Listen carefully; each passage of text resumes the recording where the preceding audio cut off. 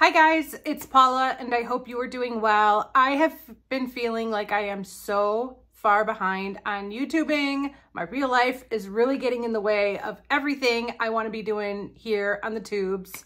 But I am here today to play catch up. We are kicking it off with my products I've hit pan on for April 2023. I know it's technically May, but I typically film this video every April and every October of the year.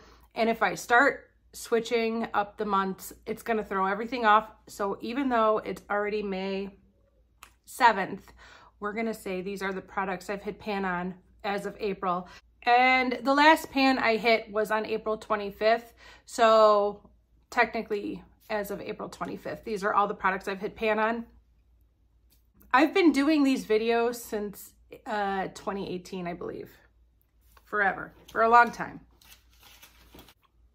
Yep, I've been doing these videos since April of 2018. I will leave a playlist in the description box if you've missed any of the others and you want to see, if you want to binge watch some of these videos, I will leave the playlist in the description box.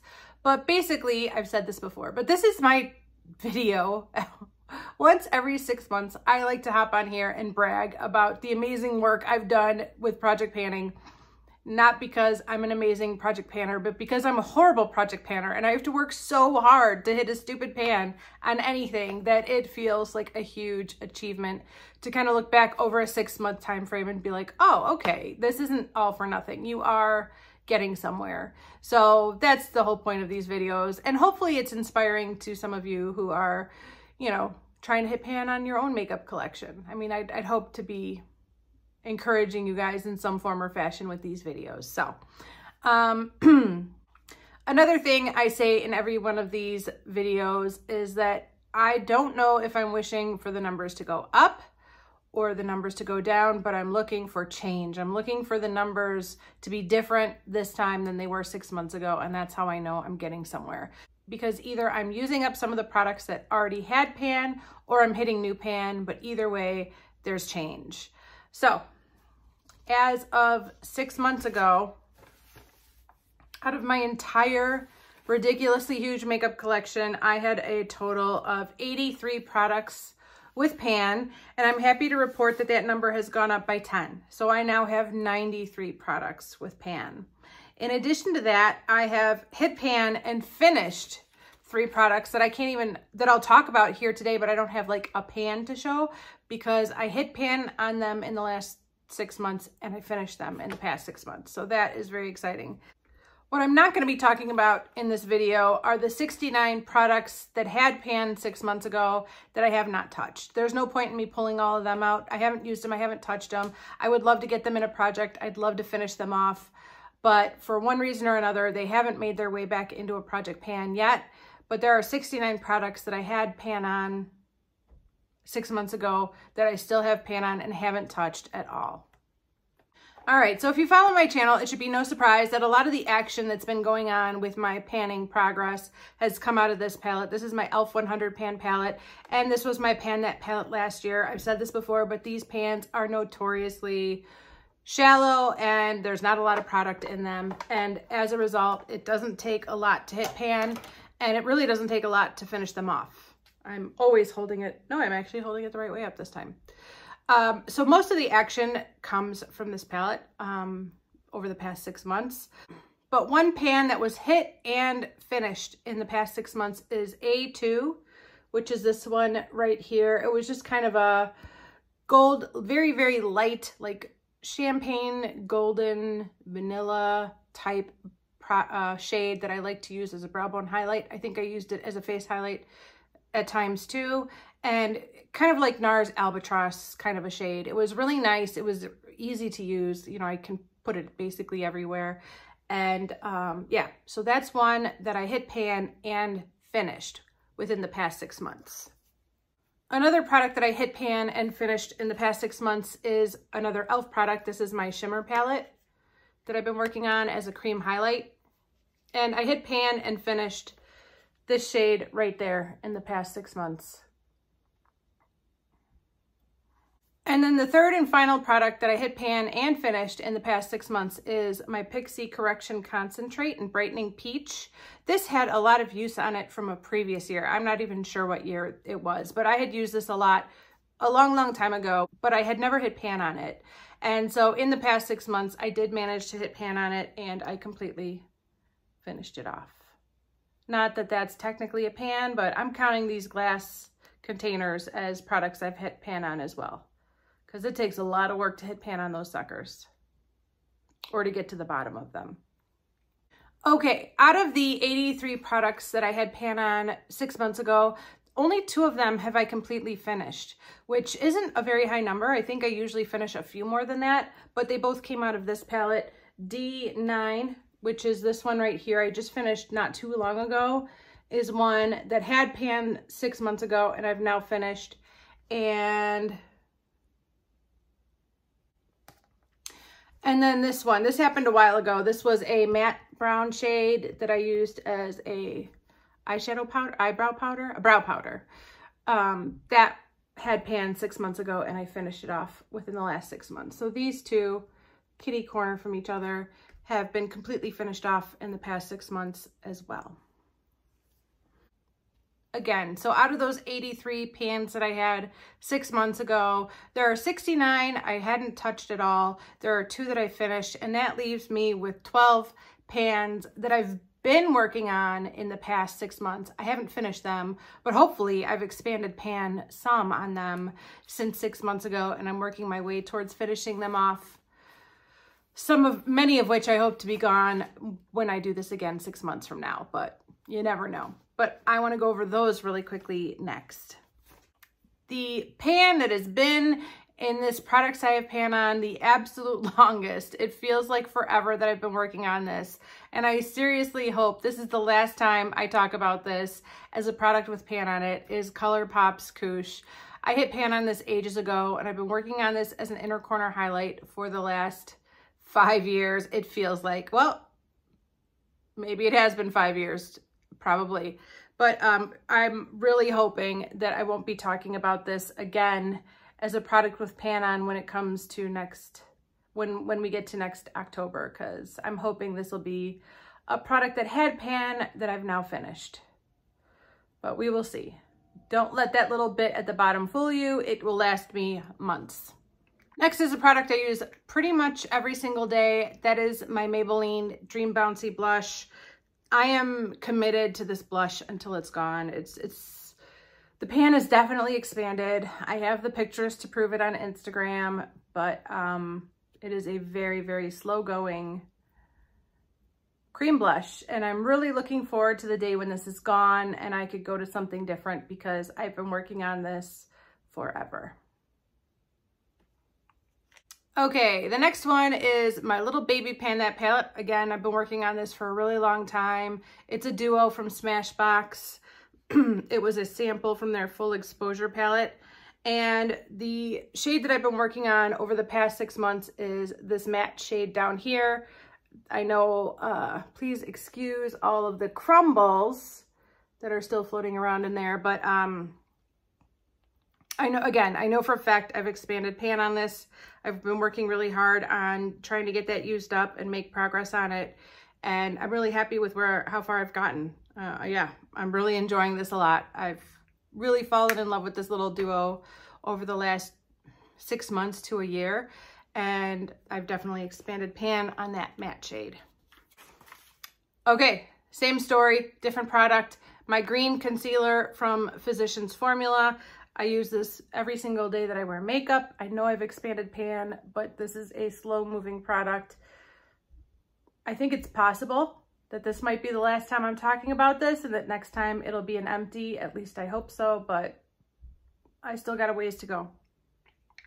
Okay, this next product is not in a project at the moment, but it stays in my bathroom and I find myself reaching for it a lot, and that is my MAC concealer. This is a Studio Finish concealer in C25. Um, this is going to last ages, but I have definitely expanded the pan in the past six months. I actually dragged the pan from a little pinpoint in the middle all the way along the side and up the edge. Um, the way I love to use this the most is to kind of like conceal around my nose before I start filming a video because even though I don't really notice a lot of redness around my nose from day to day, for some reason the camera likes to pick up on it and it really shows, uh, that discoloration really shows on camera for some reason. So I really like to use, you know, just like a swipe like that to kind of brighten and conceal. In the summertime, I will use this as an under eye concealer as well, but um, for the winter months, this is really too dark of an under eye concealer, but this stays in my bathroom and I use it all the time. All right, the next product that I had pan on six months ago and that I'm currently working on comes from my Petite Pro 2 palette by Viseart. This was my Pan That palette a couple years ago and I really, since that project ended, have only been working on this first kind of peachy shade. I repressed it about six months ago and I put it in a project last year so that I could hit pan on it again. And right before I filmed my last products I've hit pan on six months ago, I had just hit pan on it again. And now I've put this in a project again, this time with the goal of finishing it off completely. And so I have been working on that one. But sadly, I haven't really touched the other four shadows that have pan in this palette, nor have I touched the other three that do not yet have pan. Okay, there are six more products that had pan six months ago I'm still working on, and they all come from my e.l.f. 100 pan palette. So let's see how quickly I could show them off to you. This bubblegum pink shade just landed itself into my graveyard project pan and I'm working on that one. Actually, I'm wearing it today in my transition area. This red shade right here, I've definitely worked on in the past six months. This brown shade right here is one that I started working on as a brow powder after finishing this one off. This shade right here, which I refer to as my new wave dupe from the ABH Subculture palette is a favorite of mine and I use it all the time. This corally shade down here was another one I just used over and over again uh, last year throughout the entire year and I really enjoyed working on it. And finally, this shade up here was one that I had pan on six months ago. It's not gone yet. It's almost gone. I'm getting there but I've definitely been working on that. It's one of my focus products in my Beauty A to Z project, and I'm trying to get it finished off. Okay, there are 12 new pans that I have to show you for today. I'm so excited to have 12 new pans to add to my collection of pans. I've never done an overall pan percentage. I mean, just doing, uh, just tracking my pan in every palette percentage is daunting enough. I, I ha still have way too big of a collection to invest that amount of time tracking my pan percentage. But to go from 83 to 93 is definitely a step in the right direction and I'm super happy about it. So let me show you the 12 new pans that I've hit over the past six months. I might as well talk about the two that came out of this palette first because I know I've been showing this left and right, but like I said, this was a huge part of the last six months of my makeup use up and I'm still working on it. But the two pans I hit over the past six months are this one right here, this pink one, which had a gray overspray on it. And um, yeah, it's similar to this. They're similar, but a little bit different. And then the other pan I hit was this foresty green shade down here. Okay, next I have a shade from my Sleek uh, Solstice palette, right? I'm going to be talking about Solstice a lot for the next minute or two because the next three products all have the word Solstice in them. What a crazy coincidence. I just hit pan on Solstice left and right over the past six months, but this is the Sleek Solstice palette and I hit pan on this purpley highlighty shade up here. It's really, really hard to see the pan. Maybe you could kind of see it there. But yeah, it was hard to pick up because this doesn't have a traditional pan. It has like a plastic grid on top of the pan that doesn't really shine like when you typically hit pan, but I definitely hit pan there. Not the biggest pan. I loved using that shade, not only as a face highlight, but also as an inner corner highlight. That's how I really like to use it. I like a super duper bright inner corner highlight, and this is perfect for that. And then the other two solstices come from my Tarte Clay Play Volumes 1 and 2. I'm not even sure which one is which. Okay, this is Volume 1. And I hit shade, I hit pan on the shade Solstice, which is right here. And then I immediately switched to the Volume 2 from Clay Play. And I hit pan on, once again, Solstice. Right there.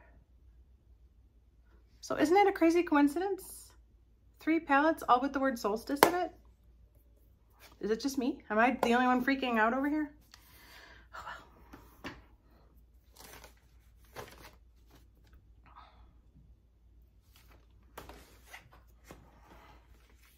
I hit pan on ColourPop Brits. This is the only ColourPop Super Shock Shadow I hit pan on in the past six months and it happened shockingly quickly. But I think it happened in like six or seven uses, but I love this eyeshadow so much and I would love to put it back in a project again really soon because I love this shadow so much. My next pan comes from one half of my Pan That palette for this year. This is my Maybelline Quad in Natural Shock. And I've only hit one pan so far, sadly, but it's this one right here. Hopefully there'll be more pans by the time I film this again in six months because I will be really disappointed if there isn't. Another pan that I've hit in the past six months is a little no-name powder that is uh, in my Beauty A to Z project and it's going very quickly. I think I could finish this off six months from now.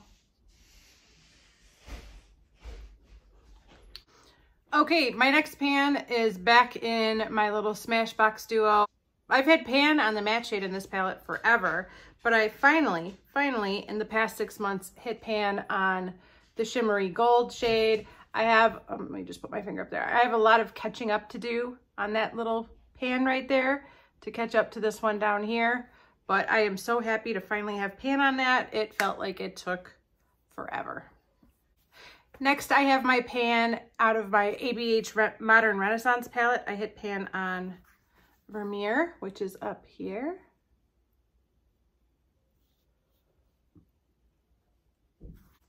And I hit a second pan in my e.l.f. Shimmer palette in the past six months. That is this white shade right here, which is going nicely now. Pan is expanding. And my final product that I've hit pan on over the six months, I'm not gonna lie, I saved the best for last. It is so exciting to finally have this pan in my collection, and that is my blue eyeshadow from Sephora in the shade Pool Party. And yeah, I finally, finally have pan on that little sucker.